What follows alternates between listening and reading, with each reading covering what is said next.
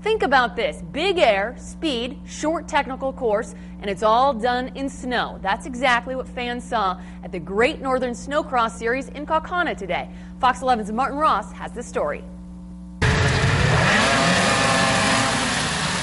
Took 11 long years and a lot of planning for the GNSS to return to the Fox Valley. It looks so simple when you sit here now today and everything's all done, but to see the effort that goes into putting this stuff together is is just kind of extreme. With such a long absence from the area, Race organizer Scott Bees put a lot into making the snocross course visually appealing. This is definitely a fan friendly racetrack because you can see pretty much every inch of the racetrack from where you're at. 18 year old semi professional snocross racer Brian Ludwig of Freedom says winning is most important, but he also wants to leave a lasting impression with the fans. They have a big triple out in the front, right in front of the fans, so hopefully we'll put on a good show. For the hundreds of fans in attendance at Saturday's races, the show was worth the 11 year wait. I just love how they fly up through the air over them humps. This is the most awesome thing I've ever seen. it's so cool. I like to see them pull the air coming over the jumps. Uh, it's really interesting how, how far some of them people can go.